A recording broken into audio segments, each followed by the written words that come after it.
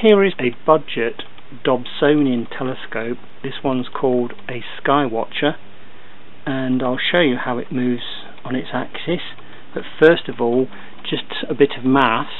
The mirror is 200 millimeters wide and the focal length is 1200 millimeters.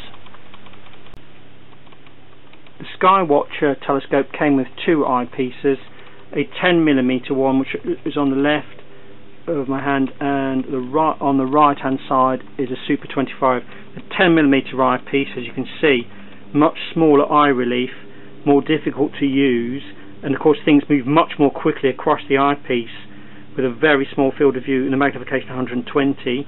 The 25 millimeter eyepiece gives a magnification of 48 easier to see through but these are both for your eyes they're not really suitable for a camera because a camera can't really as you can see look at my camera now I can't really fill that eyepiece. And my camera can try okay um, but it's more it's difficult isn't it to get a steady view on this to actually find the correct angle on this one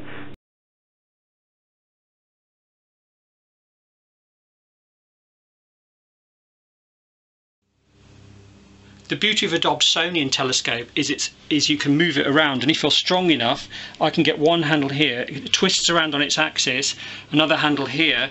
If I twist them tight I'm actually strong enough to actually lift this up and move it short distances like so. Okay most people wouldn't be but however if you are strong enough only on flat ground you can move it around they do come with a lid for the top and lids for this your finder scope. Now the way they move is, as you can see, a Dobsonian telescope can swivel very easily round anywhere 360 on the on its base. Okay, but it's also got Teflon um, coated rings, and these these are tension rods. Okay, that hold it, and you can tilt it slowly. Okay. I wouldn't have these too loose because I, I, don't want it to be too loose to move, but you can take the tension off a little bit to make it easier to move, okay, like so right? Then I can tilt it to the sky. I don't have to fix it on the pole star okay? This telescope here I would tend to find turn it around say if I was looking for the moon you turn it round you then yourself get up to the eyepiece and you find the object and it's got crosshairs inside it. The eyepiece itself has um, crosshairs in it okay where you can actually then uh, see and aim on what you want. And you want whatever's in the middle of the crosshairs to be in the middle of your view okay? There's the crosshairs there. And you have to set it so that they match and then you can use, you can adjust this using a little screws on the side of the actual finder okay? So you need to look at something like the moon find it in the middle of your crosshairs okay and then do do do it so that it's then in the middle of the eyepiece when you look the good points are that with this large mirror, which I'll focus on there, um, you get plenty of light and the light comes from the stars to the mirror, comes up to this secondary, which is another coated optics. These are Pyrex on this model.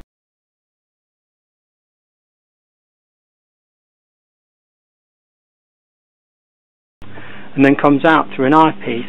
Now I have taken the eyepiece off, okay, and instead I put on this lens here which probably came from a projector.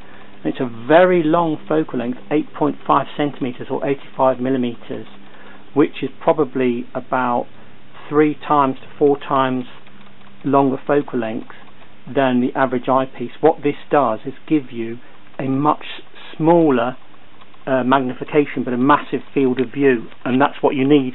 So you wouldn't be able to look at that, that through your eyes with any comfortable viewing. It's not for looking through your eyes, although you can if you stand back.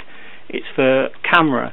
Okay, so basically the tube I've put here, which is just a piece of um, from a, a toilet roll paper, I've just cut a length of tube, and the idea is the camera will then fit inside this tube here, like so. Now you're seeing down, and I am, and the circle is what you see in the sky. I can be able to see stars inside that circle course, if you're lucky enough to have a camera where you can actually take the lens off the front of the camera, um, a special SLR camera, then you can just screw your camera directly into um, one of these attachments that come with the Dobsonian or you can buy what's called um, T-ring adapters for your particular camera and then you, you're looking directly through uh, the light will focus directly onto the CCD chip inside your camera okay? But I'm just showing a beginner's way of how you can get some shots of the sky and hopefully maybe a galaxy or two